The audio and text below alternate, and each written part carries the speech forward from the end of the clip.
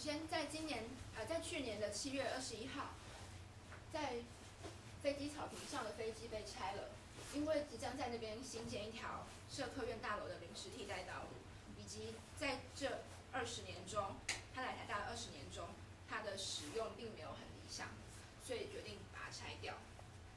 不过在当时，因为有热心同学经过，去阻止了拆除的工程，所以飞机暂时是留了下来。而在之后，生持续跟校方进行讨论，希望可以找到更好的方法来解决这个问题。而在这些讨论中，总务长曾经说到，学生才是校园的主人，所以这件事情让我们知道说，如果我们真心想要去保护这架飞机，是可以，是很有机会的。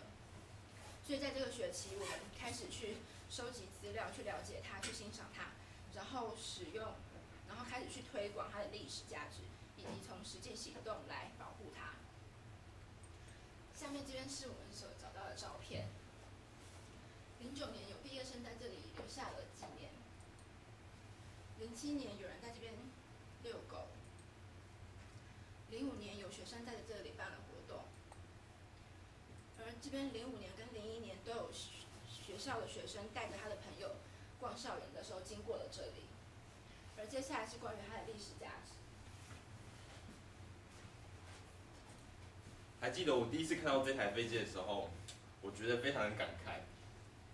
他到底是谁呢？我心哎，我心中油然而生了一个问题：他到底是谁？我想要好好认识他，但是他已经不能说话，所以我只能从他身上的一些科文去了解他到底是谁。在我们找到嗯，借由那上面的一些标志，我们了解，呃，我们知道这台飞机叫做 F 一百，它的名称叫做超级军刀机。那它对于这个社会或对于这个世界，它有什么特殊的意义？在我们找到资料，我们发现，在航空史上，它是一个重要的里程碑。它是第一架实用化超音速喷射战斗机。在那个年代，我们想要挑战超音速的飞行，必须要兼顾到它，哎，必须要考虑到飞行员的安全。所以他们在设计这台飞机的时候，机体结构设计的特别的庞大跟坚固。所以在美军的飞行员私底下把它有取名一个绰号叫做“匈奴”。这张图片是他在突破音障的时候。旁边有那个音波的环，那它对于这，它在这航空史上有这么独特的意义。那对于台湾有没有什么特别的角色呢？从我们这学期访问到的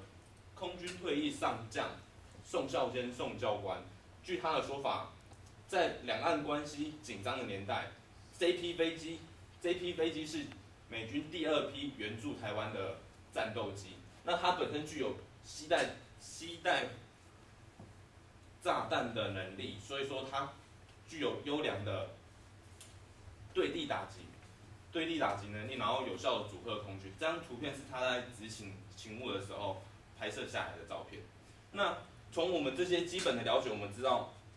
这台飞机在来台大之前，它是一个很重要的工业遗产，而且它也是个文化遗产。那它对于台大有什么特殊的地方呢？这个时候我们不禁有这个疑问。那他为什么会来到台大？就我们起初访问到了一个机械系实习工厂林师傅，他是从小就生长在台大附近的人。那他的说法是我们从日治时期，事实上就台大跟航空就已经有深密不可分的渊源。在日本殖民统治时期的时候，那个时候台大会定期举办讲航空讲习课程，会邀请各嗯日本、台湾还有东南亚一些飞行员来上课。那在国民政府，国民政府也曾经把台大在蟾蜍山脚下那些地方，以及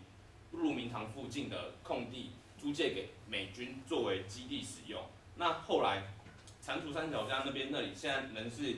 空军的作战司令部。那在在那个鹿鸣堂附近的话，现在已经变成我们学校的译文中心。所以他觉得台大会有这台飞机是应该要有的。那就宋教官的讲法，他觉得。那个时候，军方正准备要把这这一批飞机退役，那他们觉得，他这批飞机如果要是能在退役以后，对于这个社会还有更多的贡献的话，也许更会有更有价值。那他们首先想到就是可以送给各大专院校跟机械或航空有关的科系，那这个时候台大就是其中一所。那这时候我们校方的反应呢？这时候校方跟这件事有关的是机械系的赖军亮赖教授。在校史馆的口述访谈的例子里面，我们了解到赖老师他刚开始听到这个消息的时候，非常的兴奋，他觉得我们如果要是有这架飞机，对于教学上一定有很大的价正面价值。但是等他再次确认以后，发现到原来军方只给机壳而不给里面的内部设备，他就感觉到很失望。那个时候他就说我不想要了。可是没办法，这场误会已经造成了，所以这台飞机就在这样美丽的误会下来到了台大。那他来台大的时候，我们可以注从我们收集到这张老照片可以发现到，那个时候这台飞机应该是备受重视的。军方为了要让他来台大是风风光光的来，在机身本身呃机身上给他重新上漆，连国徽也在这边这里，哎军徽在这边这里也显得特显示的特别的特别的明显。然后校方对于这件事情也不敢等闲视之，特别拨了三十万的专款，盖了这个地板，是符合战斗机可以停停哎起落的跑道一个地方。那虽然刚开始它是这么的备受重视，可是行政单位啊，后来对于这方面，因为没有后续的后续的处理，所以就让显示了一种无为而治的观一种想法跟做行动，那就放在那里任凭它风吹雨打。从我们图片可以看得出来，它机舱的这个盖以及它本身附附近的一些状况都变得很差。那这台飞机在行政单位的漠视下，对于学生有什么特殊的影响呢？从我们找到，呃，从我们这学期陆陆续续的访问，以及找到一些照片里面，我们了解到这台飞机对于一些毕业的老学长来讲，他们是一个年轻时候共同的记忆。从我们稍早前面看到那些照片，以及这边可以了解到。当他们回来台大的时候，都会希望来这里照个相，有一种地标性、纪念性的价值在里面。学生活动也喜欢办在这边。那从我们跟机械系助教访谈的过程当中，我们发现到他们当初这些就是他们这批学长、这些学长里面啊，就觉得刚来到台大看到这些飞机，实在是很兴奋、很开心，但是没有办法跟他有多一点的相处。只能够在学生课余活动的时候跟他有多接触，他们也觉得这个回忆对他们来讲是很珍贵跟难忘的。那在跟学生一起青春的过程中，有一件特别有趣的事情，就是在野百合学运的时候，野百合学运的时候，学生把这个军徽视为威权体制在校园里面的延伸，所以说他们在上面画了一个大叉叉。可是那个照片实在太难找，我们就只能从后面这个地方发现到，当军当学校了解。当学校知道这件事情以后，觉得非常的震惊，因为那个时候外面社会还没解严，他们就赶快请，就连夜赶快打电话请附近的机那个机械系工厂师傅赶快回来把它重新涂回来正常的样貌，避免招人非议。这时候我们看到那个，我们从这张照片可以发现到，他的星芒非常的不整齐，圆圈也显得非常的不专业，跟刚来台大那个时候完全不一样。那除了跟他跟学生事实上是那么密不可分的，